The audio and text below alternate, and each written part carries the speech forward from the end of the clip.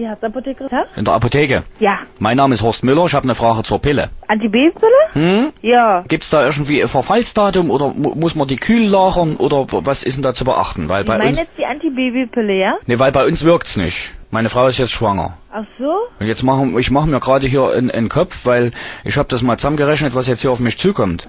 Ja. Na, in der Zukunft. Jetzt kriegen wir ein Kind, 84 Kilo Windeln pro Jahr, 2 Tonnen Öltücher. Na, Ja. Wenn man das mal zusammenrechnet, das, was da noch alles an Spielzeug kommt, Gameboy, Computer, mit 18 ein Auto, 4 Millionen Mark, ich bin an Verzweifeln. Wenn die Pille da nicht gewirkt hat, Ja, ja, ja, bei Ihrer ja, Frau, Ja. dann äh, müssen Sie da mit dem Arzt sprechen. Wieso bei meiner Frau? Na, äh, was haben Sie jetzt genommen? Ich habe Marvelon genommen. Ach, Sie?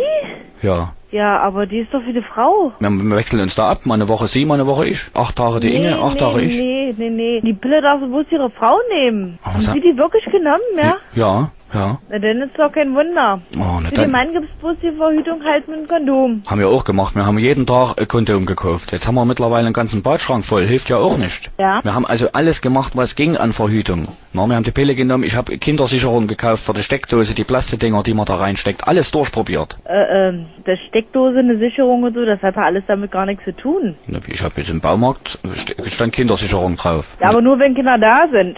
Gibt gibt da auch sowas für Mücken. Na, da steckt man in der Steckdose, gibt's keine Mücken mehr. Ja. Und da habe ich gedacht, na nimmst du das für die Steckdose, gibt's keine Kinder. Ach, ne. Deshalb, ich habe die ganze Wohnung damit. Ja. Die, Ah, nee.